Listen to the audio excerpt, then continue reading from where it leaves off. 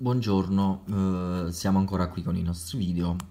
Innanzitutto voglio ringraziare eh, tutti voi per il sostegno che mi state dando. Eh, il mio canale è arrivato a circa eh, mille visualizzazioni che eh, in totale diciamo sono poche se le relazioniamo al numero dei video che ho pubblicato, però eh, diciamo che per quello che è il mio target non mi interessa avere una esplosione di visite o cose del genere, però invece il mio interesse è di lasciare questi video come se fossero una specie di archivio, quindi eh, non legando i miei video all'attualità, già so che i video eh, che adesso eh, cioè, risultano utili sia adesso come fra 3, 4 anni, 5 anni, 10 anni, quindi eh, mi, mi, interessa appunto rimanere una sorta di piccola costante eh, nella vostra passione.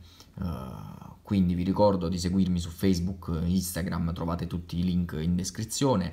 Uh, su Instagram mi sto divertendo parecchio perché oltre ad essere seguito uh, seguo a mia volta degli utenti con dei profili molto interessanti. Passiamo all'orologio di oggi. Prima di presentarvelo eh, devo ringraziare il mio amico Mauro perché eh, questo orologio mi è stato regalato da questo amico, quindi non l'ho acquistato eh, ma mi è stato regalato. Io non conoscevo questo eh, orologio, quindi non era nelle, nelle, nella mia lista dei desideri, però quando poi me lo ha regalato eh, mi è sembrato subito molto simpatico, a suo modo interessante perciò ve ne sto parlando. Quindi diciamo subito che si tratta di uno slava al quarzo e gli orologi russi ci hanno abituato a altri tipi di movimenti, soprattutto carica manuale, in alcuni casi anche con ottimi calibri automatici, però Slava è uno dei marchi di orologi russi che ha introdotto eh, i movimenti che volgarmente possiamo definire a batteria e eh, quindi eh, diciamo che Slava è quello che si è fatto, fra i marchi che si è fatto più di tutti promotore di questa corrente. Quindi diciamo che in questo modo eh, Slava è, ha guadagnato una fetta di mercato abbastanza precisa e eh, quindi ave, ha avuto un target di clientela eh, ben selezionato e eh, si eh, capisce questo anche guardando l'orologio in questione. Quindi che cosa possiamo dire subito a prima vista? Uh, basta poco per dire che uh, questo è un orologio che può risultare meno impegnativo del solito rispetto a quella che è la media degli orologi russi perché eh, non c'è un aspetto neanche vagamente militareggiante, nessuna commemorazione, nessuna funzione specifica. Questo è un normalissimo orologio, semplice, nudo e crudo. Uh, io lo immagino uh, orientato ad una clientela giovane o anche femminile e vi dico qualche motivo. Innanzitutto c'è la questione della batteria, eh, voglio dire intanto che non, con questo non significa che le donne non siano in grado di gestire un orologio a carica manuale o un orologio automatico, assolutamente, però qui insomma abbiamo a che fare con un bel quarzo, girando la cassa possiamo vedere eh, il sistema per l'alloggio della pila, quindi che va svitato per metterci la pila. Un altro elemento è sicuramente la dimensione, perché qui abbiamo a che fare con una cassa di 33 mm circa, se, non, se dovrei aver misurato 33 mm col righello, che è una misura diciamo che nel panorama degli orologi russi eh, degli anni 90 rappresenta sicuramente una minoranza.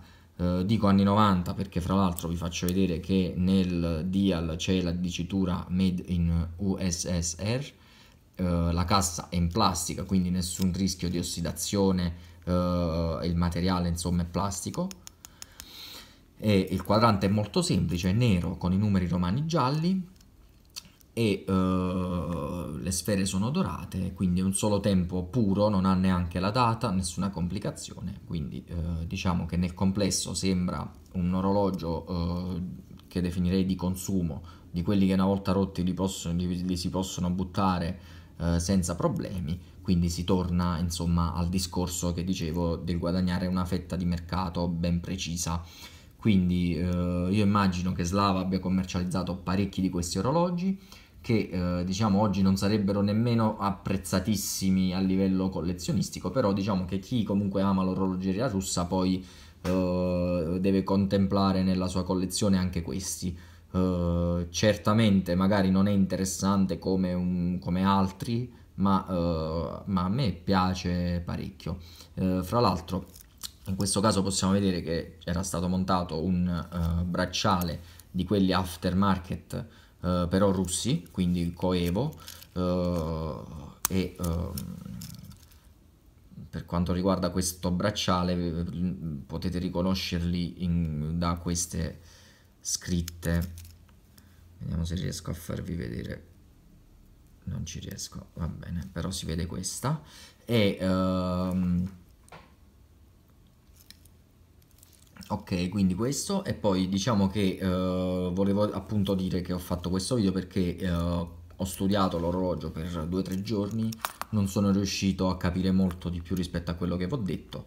Quindi diciamo che ne ho visti parecchi di slava, di quarzi eccetera. Perciò diciamo che in questo video oltre insomma che fare una catalogazione come sempre faccio Uh, serve anche per chiedere a voi un parere su questo orologio o per chiedere se avete link uh, di siti che mh, hanno trattato la vendita la o li hanno descritti o comunque se avete foto uh, che possono aggiungere degli elementi importanti su questo orologio. allora fatemi sapere se avete delle notizie utili per me. E in ogni caso vi ringrazio e ci vediamo con il prossimo video. Ciao!